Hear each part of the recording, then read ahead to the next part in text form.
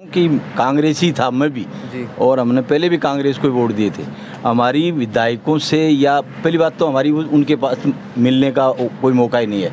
और मिलना भी चाहें तो उनके जो कार्यकर्ता हैं वो वहीं पर उसको स्टॉप कर देते हैं कट उसके बाद हम पता नहीं चलता कि वो कप्तान साहब क्या कहना चाहता है कहना राम राम दोस्तों मेरा नाम अरविंद कुमार थे देख रहे हो न्यूज़ दो रहे तो आज गाँव फतेहसराम पूछे चुनावी यात्रा करने हैं और आटे कुछ बुज़ुर्ग बैठे हैं बड़ा सा अफा चुनावी माहौल की चर्चा करेंगे कि को क्या माहौल है और किन टिकट मिलेगी तो कौन सी पार्टी से कौन विजय हो सके। तो सबसे पहले एक अंकल जी अना से बात करें। अंकल जी आपको नाम बताओ। मेरा नाम है कप्तान मोहर सिंह।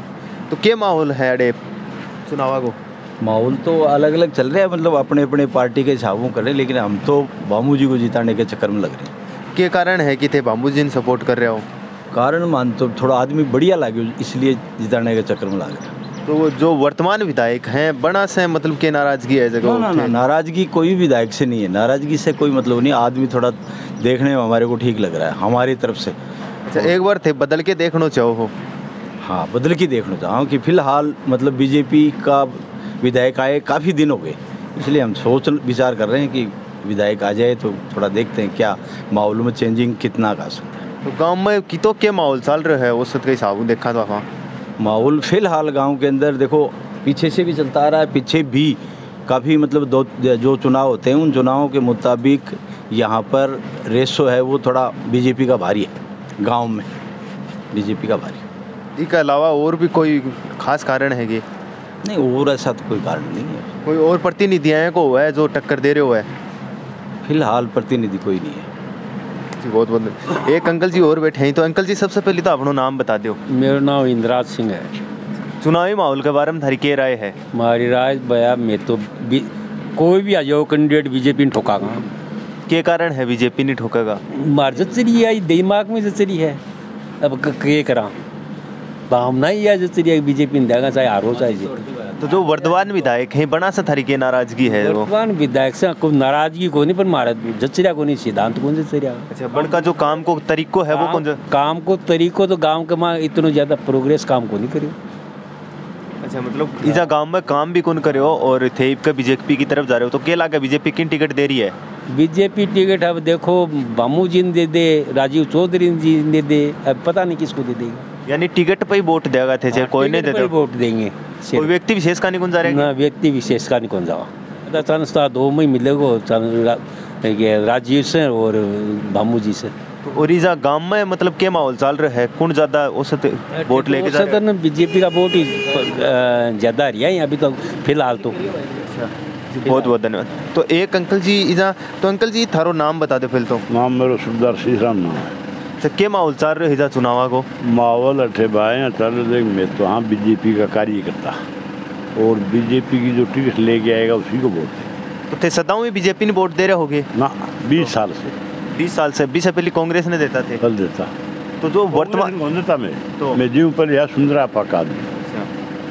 और अब दे रहे हैं बीजेपी। के मतलब जो वर्तमान विधायक हैं बड़ा ने वोट कौन दो को कारण है? को ना बड़ा- वर्तमान विधायक ने सर्दी सिर चूना सर्दी मारी विधायक साहब एक जगह को नहीं बोले आजा चूरू में मिलता है दूसरी जगह खेती में नुकसान होता पैसा मिलता है एक रुपया नहीं मिलता। किसान की मत क्या करता हो? तो विधायक वोट का हक ही नहीं रखता हो इसलिए नहीं देते। तो इजा जो काम है भी का आधार पर देखा जाए तो कितो के विकास करो गाँव में? विकास को नहीं करो कोई कोई कुछ नहीं ज़ीरो। विकास ज़ीरो विकास। बीजेपी ने एक हॉस्पिटल दिया था हमारे को पहले ज़मीन नहीं थी यहाँ गऊचर है। उसको उन्ना लोट करवा दिया। पंद्रह साल से वो एम हैं। और उसको अभी बनवा दिया।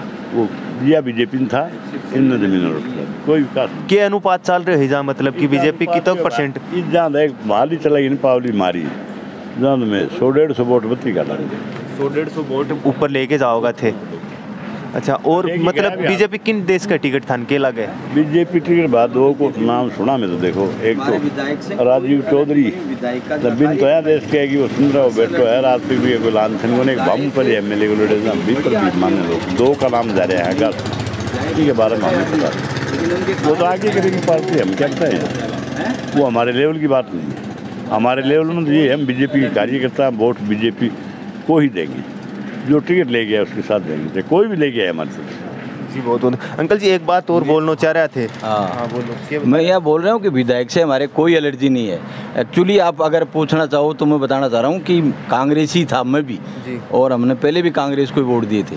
हमारी विधायकों से या पहली बात तो हमारी उनके पास मिलने का कोई मौका ही नहीं है। और मिलना भी चाहें तो उनके जो कार्यकर्ता हैं, वो वहीं पर उसको स्टॉप कर देते हैं कट उसके बाद में पता नहीं चलता कि वो कप्तान साहब क्या कहना चाहता है, कहना मतलब नाम आ गया, या कोई क्या कहना चाहता है, वो उस चीज़ को पूछते नहीं. वो तो एक ही चीज़ को पूछते हैं कि हाँ जी, फलान जी, क्या ढंग है? बोलो बिल्कुल ठीक है. तो यार, गाँव के अंदर वोट ज़्यादा आ रहे थे पहले, या कुछ टाइम अभी आजकल चेंजिंग आ गया तो कोई कारण तो हो तो किसी आदमी से जैसे आप पूछते हैं इस तरीके से किसी को पूछा जाए आकर के। विधायक बहुत बढ़िया है इसमें कोई शक नहीं है हम कोई उसकी कटती नहीं करेंगे कि विधायक खराब है। विधायक बिल्कुल एक नंबर का है लेकिन उसके कार्यकर्ता हैं वो कुछ हद तक वो अपने आप को ही विधायक समझते हैं। मतलब कि विधायक साहब से थारी कोई नाराज़गी को नहीं जो कार्यकर्ता है बन में थोड़ा सुधार की ज़रूरत है। कार्यकर्ता अगर सुधर जाते हैं तो विधायक बिल्कुल लायक भी है कोई ऐसा नहीं है ना किसी की गलती करता है ना कोई। इसी वजह से हम बीजेपी को ज्वाइन कर रहे हैं। अच्छा बीजेपी का कार्यकर्ता बढ़िया ही कार्यकर्ता हूँ झूठ साच कम है। कहने का मतलब है जो अगर मेरे को मिलना है उदाहरण के तौर पर मैं भी कार्यकर्ता हूँ अगर मैं भामू जी के पास मिलना चाहता हूँ तो मैं डायरेक्ट बोलता हूँ चल बेटे क्या करना है? मेरे को फलाना काम है चलो भामू जी को मेरा ये करवा दो। तो मैं बीच में ये नहीं करना चाहता तू रुक पाँच दिन बाद में बात करेंगे करेंगे एक नहीं करेंगे उसका नतीजा दूसरा मिलता है। जी बहुत बहुत। एक अंकल जी जहाँ और खड़े हैं अना भी आप चुनावी माहौल की बात करें तो अंकल जी सबसे पहले तो अपना नाम बता दो मेरा नाम महिपाल तो के गाँव में के माहौल चल रहे है चुनाव को? गाँव में सत्तर तीस। सत्तर तीस। तो सत्तर की कन जा रहे हैं बीजेपी सत्तर है तीस कांग्रेस। के कारण है कि बीजेपी का नहीं सत्तर जा रहे हैं? वो तो कार्यकर्ता ही जाने के हमा- तो गाँव की रिपोर्ट आई है। अच्छा ते गाँव का चौपाल पे बैठो जब कोई बात तो निकल के आती होगी ना के गाँव के कहते बीजेपी का सपोर्टर ज़्यादा है। तो जो वर्तमान विधायक साहब हैं वह की सरकार काम कौन करेगी जहाँ? बस पाँच काम सभी करें। बाहों तो वह भी काम करें पर हर पाँचवीं साल परिवर्तन हो परिवर्तन चाहो। अच्छा मतलब थे परिवर्तन चाहो जो मौको है भी को पूरा फ़ायदा उठाना चाहो। जी बहुत बहुत धन्यवाद। तो गाँव है इक हमारा जनता की अफार राय माना तो इस जो बीजेपी है, वह जीत के निकल रही है। यानी कि सत्तर तीस को औसत ये बता रहे हैं। बाकी चुनावी चर्चा था ना और देखनी है तो जुड़ा रहे हो न्यूज़ दोरारी के साथ। तो आज की वीडियो मित्रों ही। और वीडियो अच्छा लगे तो वीडियो लाइक और चैनल ने सब्सक्राइब ज़रूर कर दियो। और वीडियो ने औसत आयु जो है, चुनाव को औसत काटने के लिए ज़्यादा से ज़्यादा शेयर करो, ताकि लोगों भी पता चले कि कौन से गाँव में के माहौल चल रहे है।